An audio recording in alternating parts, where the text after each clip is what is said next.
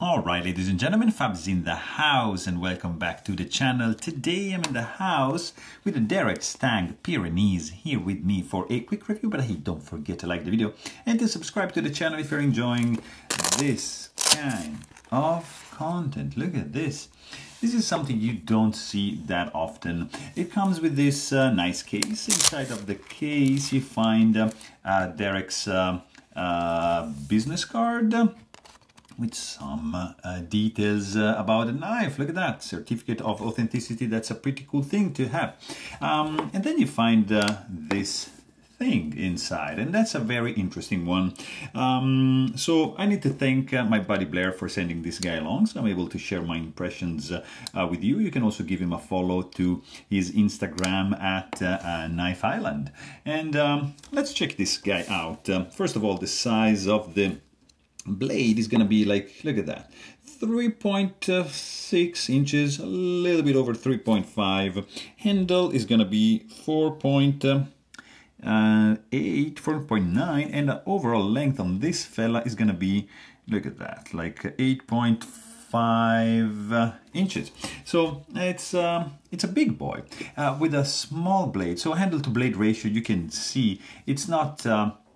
Ideal. Like for example, I don't know, if I take uh, this guy over here, uh, this one has probably the same uh, blade length, but just, you know, shorter handle. But uh, the purpose of this knife is not to have a um, good handle to blade ratio because this is like a workhorse. It's like, uh, look at the stock thickness and how the handle is made. I mean, this is begging to be held like that. So you can just like hammer with this uh, uh, thing. This is like a workhorse, really. It's solid, really robust knife, made in Canada. Derek Stang from Alberta. It's... Uh, I think the price is around $750. This is the second uh, iteration of uh, uh, this knife and there's some tweakings happening uh, in this one and uh, it's uh, it has improved for sure from the first version but I still feel that there's a little bit of um, uh, work to do uh, because uh, the, the basis is really good. It's something new, something very different,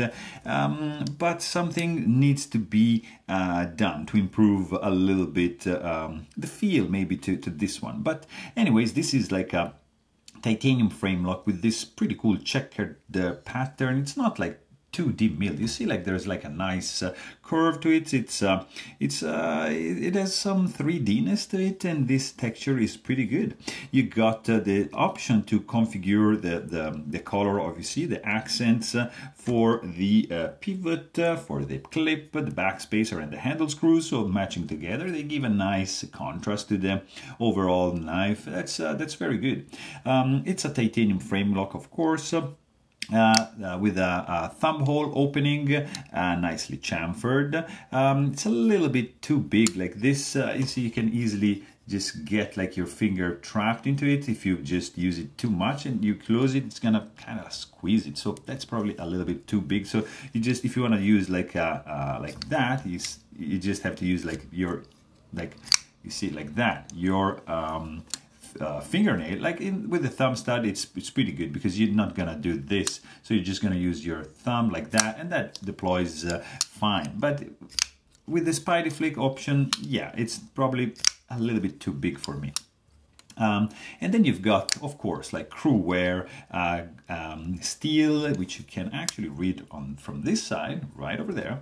And uh, it's, uh, it's a very interesting one, guys. Uh, let's quickly check the weight on this fella, uh, because there is uh, one milling pocket only in the show side, and that's going to show in the weight at 5.13 ounces. So not super light, but I mean, it's a big boy. So that's, yeah.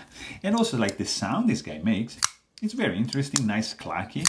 It's like a good quality sound. Ergonomics are also pretty good. Um, this finger groove is gonna be the main groove. There's no finger choice, so this guy is gonna be held like that, and you can just feel that this is begging to put to be put to work. So there you have it.